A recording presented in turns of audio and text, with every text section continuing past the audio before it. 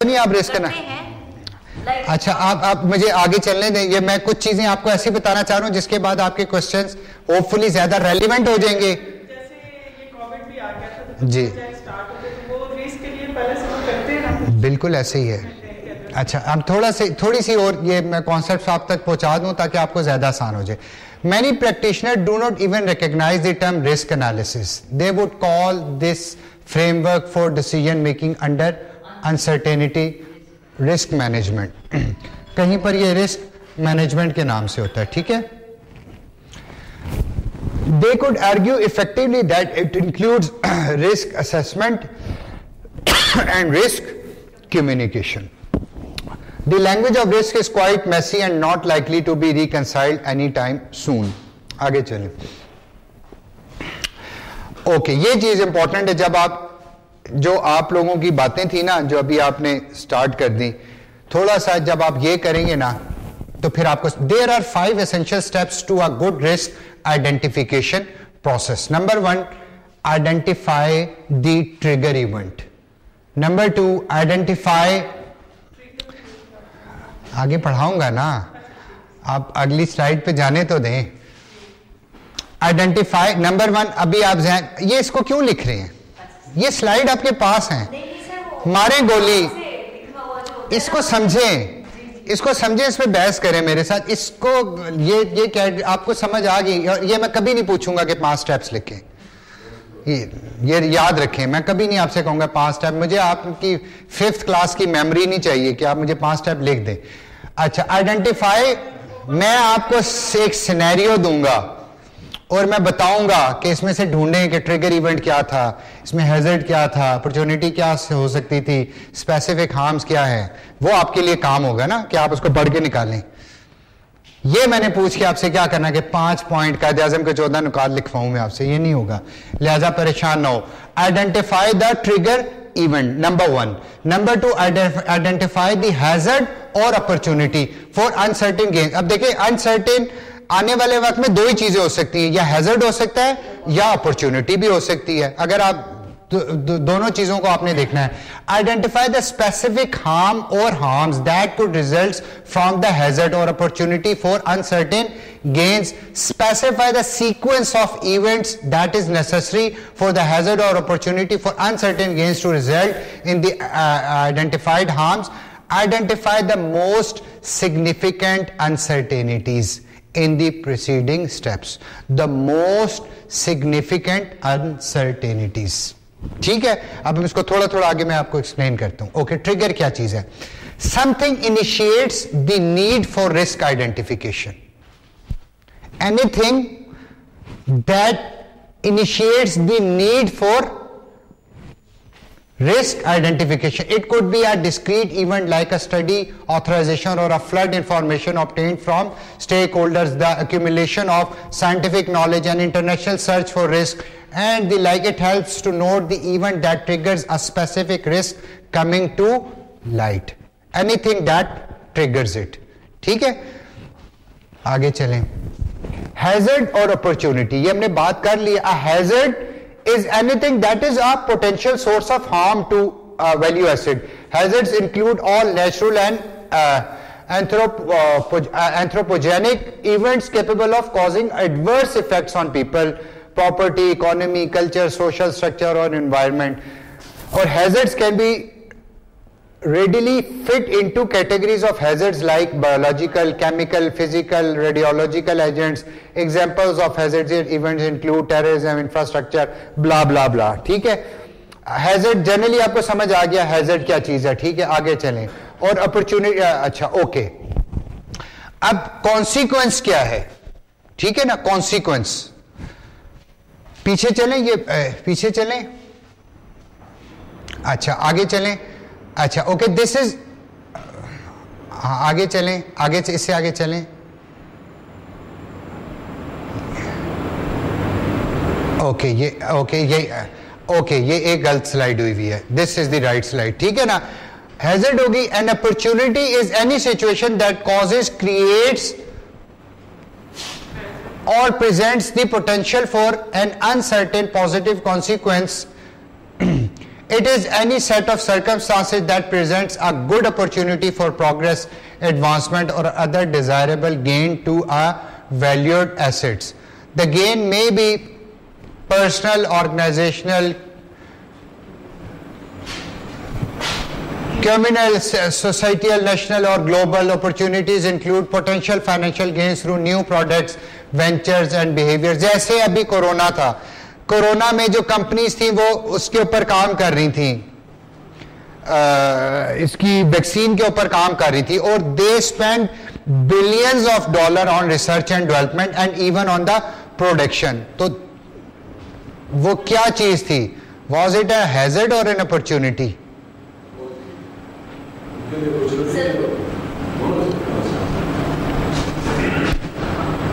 अगर उनकी ना रिसर्च कामयाब होती तो उनका But why they were doing it? For me, they were looking for an opportunity. Opportunity अच्छा बास केसेस में देखें एक चीज़ आपने जहन में रखनी है। आपको बास सिनेरियो ऐसे होंगे जिसमें से आपको हैजर्ड अपॉर्चुनिटी दोनों समझ आ रही होंगी। You have to go for a better option कि लाइकली चांसेस ऑफ़ सक्सेस किस जगह हैं? जी ठीक है? आगे चलें। अब ये आया, ठीक है? तो आप, आपने पहली क्या चीज़, एक चीज़ है ट्रिगर ठीक है? हैजर्ड और अपॉर्चुनिटी साथ साथ हैं, दोनों एक दूसरे के ऑपोजिट हैं। पहली चीज़ क्या है? आपका ट्रिगर क्या था? नंबर चीज़ क्या थी? आपने देखा है हैजर्ड है या अपॉर्चुनिटी क्या है? नंबर थ्री आप कॉन्सिक्वेंस कॉन्सिक्वेंस क्या है? Determining the specific harm in a risk situation must proceed an assessment of the probability of that harm आपने उस हार्म की असेसमेंट ऑफ़ प्रोबेबिलिटी करनी है, ठीक है? Thus consequence comes before probability in the risk identification task if one begins with the probability it is easy to become confuse the probability of what once the consequence is identified it is easy to identify its probability ये बात समझ आई है? देखें अब आपको जब consequence पता होना चाहिए कि कॉन्सिक्वेंस क्या हो सकता है, उस कॉन्सिक्वेंस की आपने प्रोबेबिलिटी निकालनी है। अगर कॉन्सिक्वेंस पता ही नहीं है तो प्रोबेबिलिटी किस चीज़ की निकालेंगे? तो आपने कभी भी जो है इफ़ बिगन प्रोबेबिलिटी से कभी काम स्टार्ट नहीं होता। काम पहले ये स्टार्ट होता है कि आपको उसका कॉन्सिक्वेंस पता हो। यानी कि आप सारे पॉसिबल कॉन्सिक्वेंसेस लिखते हैं। जब आप माइंड मैप बनाएँगे ना रिस्क एनालिसिस करते हुए तो रिस्क एनालिसिस करते हुए असल काम ही यहाँ से शुरू होता है कि जब आप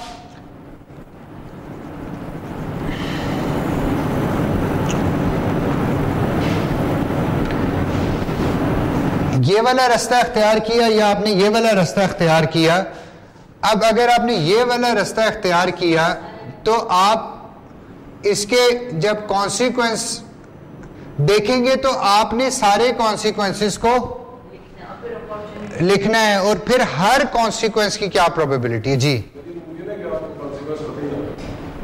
हाँ बिल्कुल है। बिल्कुल है।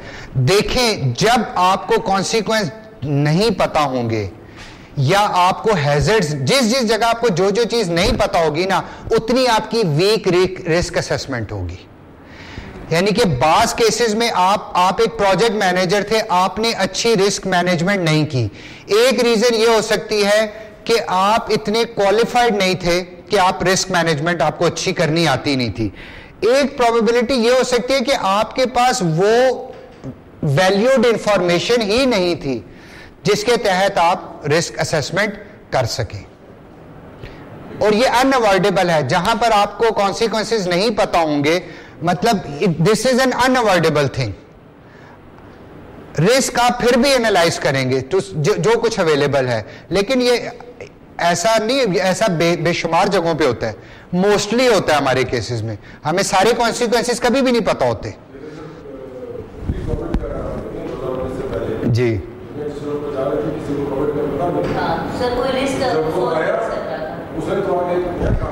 ऐसे ही है। यही तो मैं कह रहा हूँ कि देखें, कोई, कई ऐसे कॉन्सिक्वेंसेस होते हैं जो जीनियस से जीनियस माइंड भी नहीं सोच सकता। और ऐसे बहुत से कॉन्सिक्वेंसेज होते हैं जो with the passage of time ऐसे लोग रिस्क एनालिसिस वाले हैं जो ऐसे कॉन्सिक्वेंसेज सोच सकते हैं जो एक मेरे या आप जैसा लेमैन नहीं सोच सकता। उनके लिए, जी? हाँ फिर तो कुछ भी नहीं है। मैं आपसे यही कह रहा हूँ। हाँ। देखिए रिस्क दे, फिर आप रिएक्टिव मोड पे चले जाएँगे। एक चीज़ है ना आपने आप रिस्क एनालिसिस आपका प्रोएक्टिव मोड होता है बेसिकली आप आप प्रोएक्टिवली एक काम करना चाह रहे हैं। उसके आने से पहले ही इसको अवॉइड करना चाह रहे हैं। जब आप प्रोएक्टिव नहीं हो सके तो आप रिएक्टिव हैं। अब जब हो जाएगा तो अब आप उसको फिर हैंडल करेंगे। ठीक है? Okay, an analyst must identify the specific harm or harms that can result from a hazard. Likewise, they must identify the disappointing and unwelcome results that can occur with an opportunity for uncertain gains. दोनों तरह से आपने देखना है अगर आप opportunity देख रहे हैं तो फिर आपको उस अपॉर्चुनिटी में क्या अनवेलकम या डिसअपॉइंटिंग रिजल्ट्स हो सकते हैं ये भी आपको पता होना चाहिए जी G. G. There may be more than one undesirable outcomes. If so, identify all the relevant harms to be assessed. Flood, for example, can result in loss of life, property, damage, business loss, and other kinds of harm. Ecosystem restoration could increase habitat, improve water quality, increase ecosystem services, and offer other potential gains. इन दो points में आपको क्या आखिरी दो point में क्या फ़र्क समझ आ रहा है? यस यस दिस इज़ जी जी। अब मैं ये कह रहा हूँ कि अब लाजमी नहीं है कि हर जगह अपॉर्चुनिटी और वो लिखा हुआ है। ठीक है आपने उस, उसके कॉन्टेक्स्ट से बात को समझना है। आगे चले। तो थर्ड पॉइंट हो गया fourth is sequence of events for each harm identified the analyst should identify the specific sequence of events that is necessary for the hazards to result in the identified harm or consequence. The likelihood of that precise sequence of events occurring will define the probability of the risk. When there is more than one pathways from the hazards to the uh, harm, each relevant pathway ought to be identified. In a similar fashion, the sequence of events from an opportunity to an undesirable outcome ought to be identified. अच्छा अभी जो है ना थोड़ा सा इसमें यह समझ लें कि जब ये चीज़ें आप प्रैक्टिकली करेंगे ना फिर आपको ये अंग्रेजियाँ ज़्यादा आसानी से समझ आएँगी अगर मैं आपको सिर्फ़ अंडा तलने की टेक्निक भी पॉइंट्स में लिख के बताऊँगा ना तो आपको कई चीज़ें वो हो जाएँगी। तो इट हैज़ टू बी जब आपको एनालिसिस वाले इन स्टेप्स को बार बार लेकर जाएँगे तो फिर आपको ये सारी बातें उस वक्त अप्लाई होंगी तो आपको फिर ये, फिर जब आप इस दोबारा इन अंग्रेजियों पर आएँगे, आपके लिए बिल्कुल ये आसान सी होंगी। आगे चलें। Uncertainty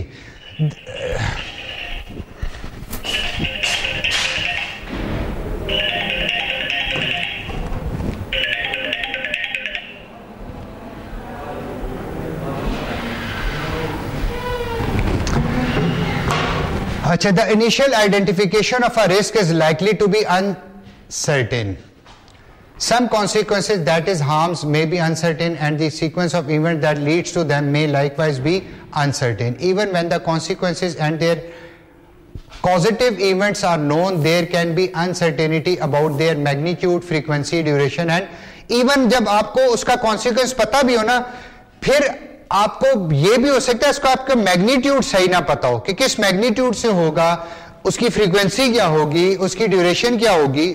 ठीक है, लाजमी नहीं है कि किसी कॉन्सिक्वेंस को फोरसी करने से ही सारी बात होगी।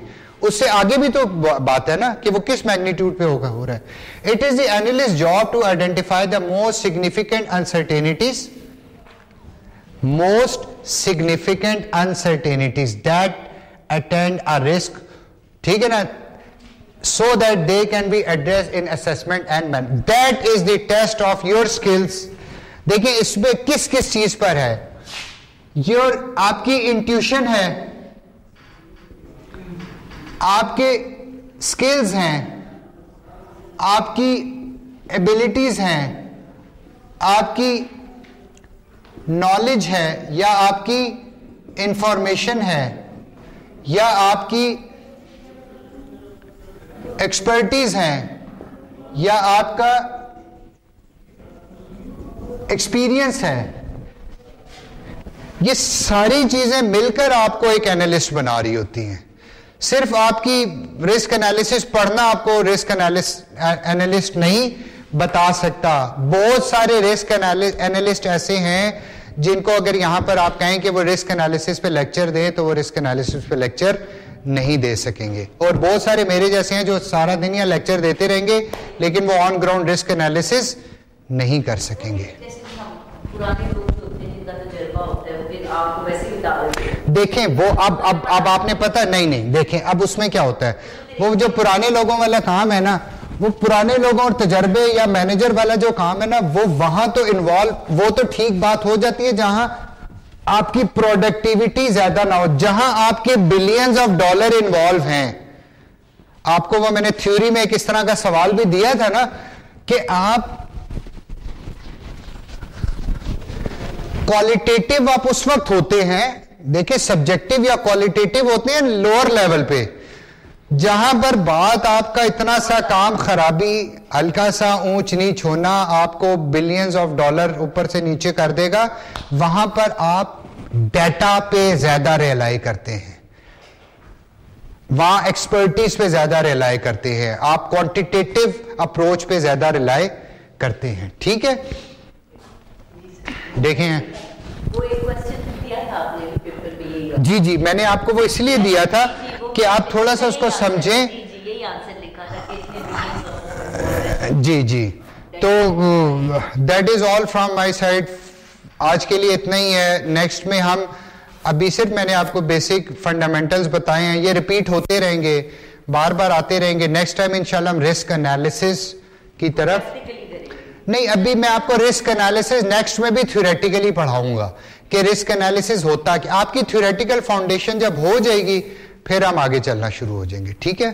तो होप अगर आप लोगों को क्लियर है कोई any question anything anything from my side hopefully मैंने आपको पेपर का कुछ ना कुछ बता दिया है और आपकी आपका अब आप सवाए अपने आप के किसी और को ब्लेम नहीं कर सकते। काइंडली मुझे ब्लेम ना कीजिए इसलिए कि मैं बे, मैं बेकसूर हूँ। नहीं नहीं सर आपको ब्लेम वैसे भी नहीं हाँ। मैंने आपको देखिए, नहीं नहीं। लेवल की डेप्थ अच्छा मैंने आपको मैंने आपको वो दी थी फुल टॉसें दी थी, आपने छक्के नहीं लगाए। मैंने आपसे क्या कहा था? मैंने इसको बस थैंक यू वेरी मच